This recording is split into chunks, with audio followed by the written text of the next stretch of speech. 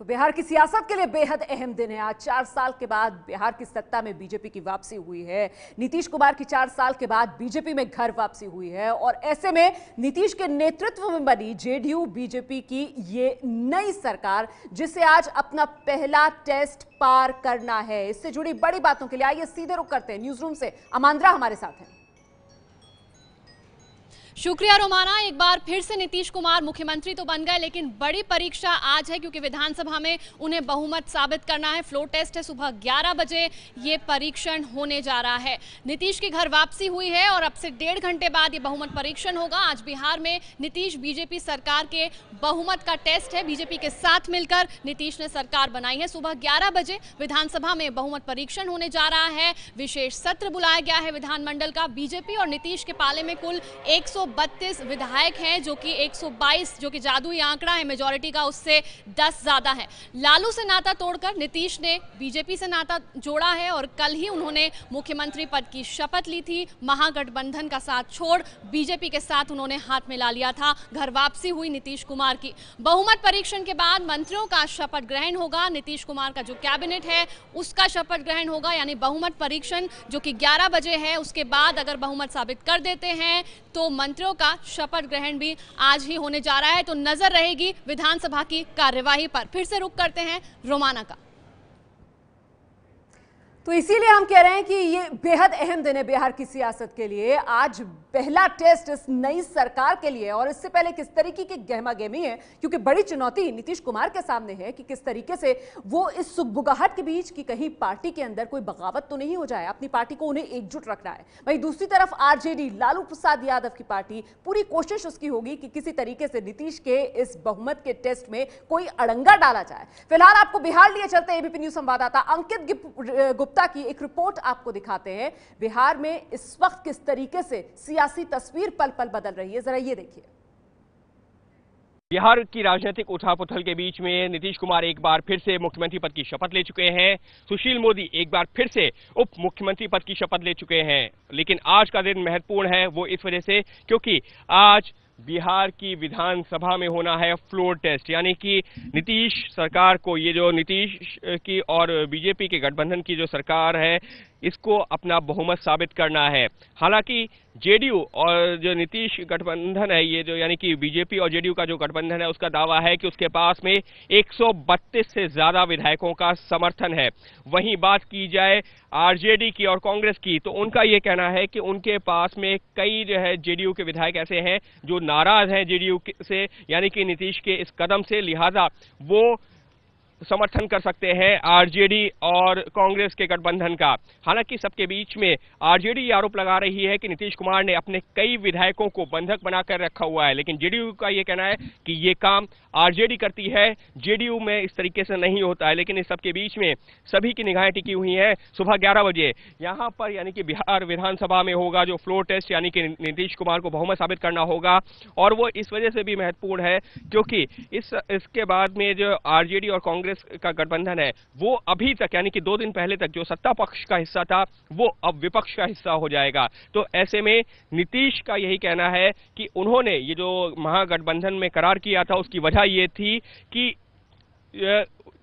बिहार के हितों के लिए काम किया जाए, ना कि भ्रष्टाचार का समर्थन करने के तो देखिए, कुल मिलाकर फ़िलहाल जो आंकड़े हैं उन्हें देखकर ऐसा लगता नहीं कि किसी भी तरीके की कोई भी मुश्किल नीतीश कुमार को पेश आएगी इस बहुमत के टेस्ट को पास करने में। और फ़िलहाल बीजेपी किस तरीके से, आज की बात तो छोड़ दीजिए, आगे के लिए रणनीति बना रही है। बीजेपी के प्रवक्ता शाहनवाज हुसैन, उन्होंने एबीपी न्यूज़ संवाददाता उत्कर्ष सिंह से बातचीत में यह कहा कि आप आज को तो भूल जाइए, दो हज़ार बीस में भी एनडीए के बिहार में सीएम उम्मीदवार नीतीश कुमार ही होंगे। बिहार में एक मशहूर कहावत है, डगरा का बैगन होना। यानी कि थाली का वो बैगन जो कभी सरक कर इधर और कभी सरक कर उधर हो जाता है। फ़िलहाल नीतीश कुमार की हालत वैसे ही हमारे साथ बीजेपी के राष्ट्रीय प्रवक्ता शहनवाज हुसैन है।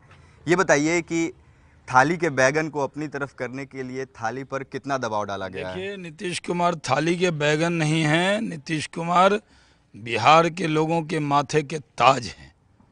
वो बिहार के ताज पर लगे हुए हीरा हैं। और उनकी साफ़ सुथरी छवि है। नीतीश कुमार जी बेदाग नेता हैं। ये सही है राजनीति में सत्रह साल हमारे साथ रहे। सर पे ताज था तो फिर डीएनए क्यों चेक किया गया? नहीं ताज उनके सर पर था और है और आगे भी रहेगा। क्योंकि नीतीश कुमार जी का कई मुद्दों पर एक दल में व्यक्तियों का मतभेद होता है। और हम तो अलग अलग दल थे अलग अलग विचारधारा थे। फिर भी हमने गठबंधन में काम किया। एक बार हमसे अलग हुए लेकिन वो किसी और से नहीं मिले हैं अपने घर ही लौटे हैं।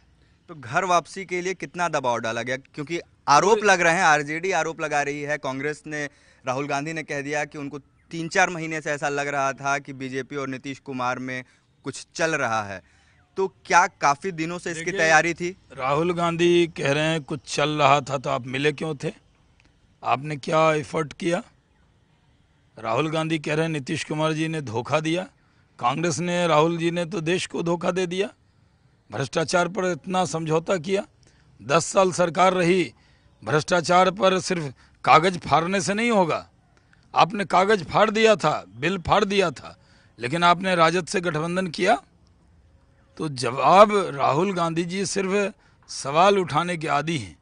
जवाब नहीं है उनके पास। सवाल तो आप लोग भी उठा रहे थे नीतीश कुमार के ऊपर फिर ये कुर्सी पाने की चाह में सारे सवाल छूट कैसे गए? हम लोगों ने कभी भी नीतीश कुमार की क्रेडिबिलिटी पर उनकी ईमानदारी पर उनकी क्षमता पर सवाल नहीं उठाए। विपक्ष में रहते हुए भी हमने नीतीश कुमार जी की ईमानदारी पर कभी सवाल नहीं उठाए। बिहार के कार्यकर्ता को सबको ये लगता था कि नीतीश कुमार जी और जो बीजेपी का गठबंधन था हमने उनको कभी नहीं छोड़ा था। जब वो हमें छोड़ कर गए थे तब भी हमें लगता था कि ये गलत छोड़ कर गए। तो सही जगह आए तो स्टेप गए थे वापस हम लोग के साथ आज बहुमत साबित करना है। क्या नीतीश कुमार बहुमत साबित कर पाएँगे? देखिए बहुमत साबित हो ही गया है। 132 विधायक हमारे साथ हैं। 132 विधायकों को छः सात घंटे लगातार सीएम हाउस के अंदर रखा गया था किसी को बाहर नहीं निकलने दिया गया। आज जबकि सब सब लोग विधानसभा में होंगे आरजेडी दावा कर रही है कि जेडीयू के कुछ विधायक उनके साथ हैं। आरजेडी तो दावा करने में आरजेडी को कौन रोक सकता है? आधांत कंगन को आरसी क्या? अभी देखिएगा साबित कर देंगे बहुमत। 132 विधायकों का समर्थन है। कोई शक शुभा किसी को नहीं होना चाहिए। बिहार नरेंद्र मोदी और नीतीश कुमार और सुशील मोदी के नेतृत्व में आगे बढ़ेगा। बिहार फिर से नंबर वन राज्य की तरफ़ आगे अग्रसर होगा। बिहार में तरक्की करके दिखाएँगे। बिहार में उद्योग लगा के दिखाएँगे। बिहार के नौजवानों को बिहार से बाहर नहीं जाना पड़ेगा क्योंकि नब्बे के बाद पहली बार केंद्र और राज्य में एक ही दल की सरकार है। अच्छा जिन राज्यों में केंद्र और राज्य में एक ही सरकार है क्या उनकी स्थिति बेहतर हो गई है? वही ना जाइए छत्तीसगढ़ क्या बेहतरीन राज्य है।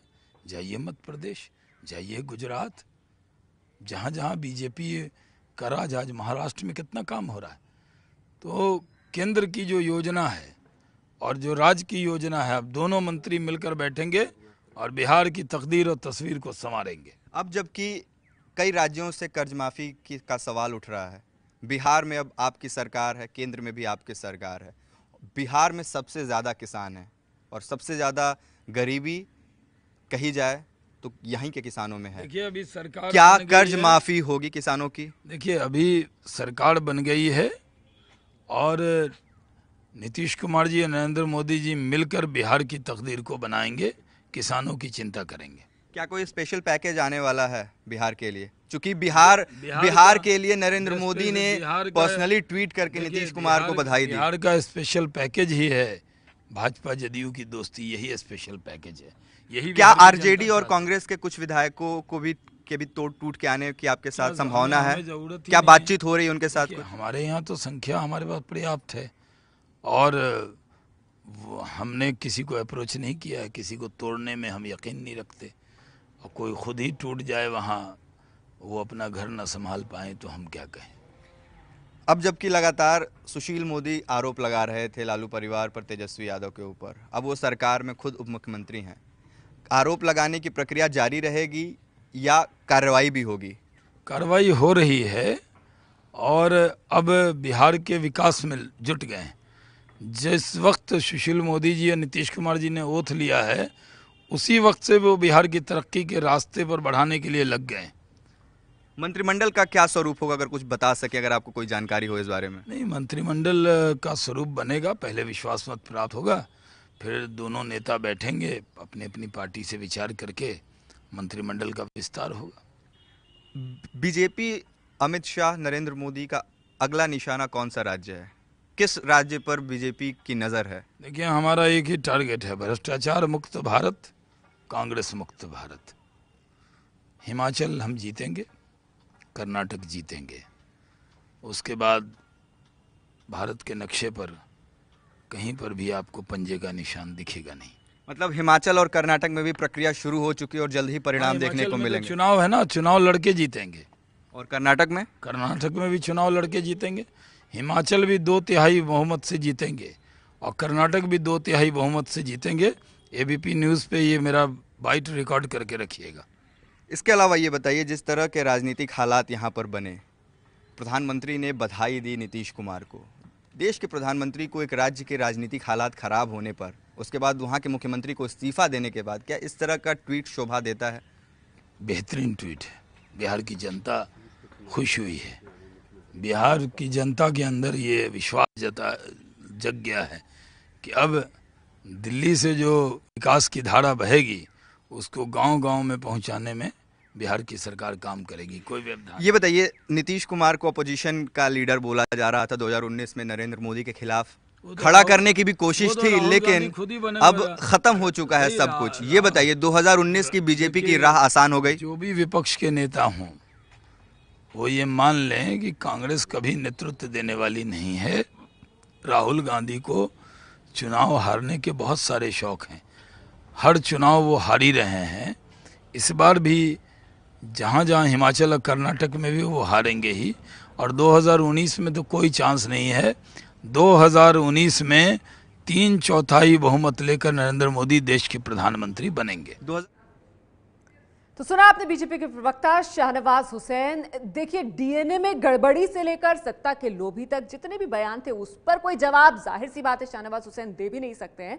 लेकिन गौर करने वाली बात यह है कि 2017 में 2020 का ज़िक्र करने की ज़रूरत शाहनवाज हुसैन को आज क्यों पड़ी, क्यों ये कहना पड़ा कि 2020 में भी जो एनडीए है, बिहार में उसके सीएम का चेहरा नीतीश कुमार ही होंगे और इसका आज के जो बहुमत का टेस्ट हो रहा है नीतीश कुमार की नई सरकार का उसके लिहाज से कितना महत्व है। ये है एबीपी न्यूज़ आपको रखे आगे।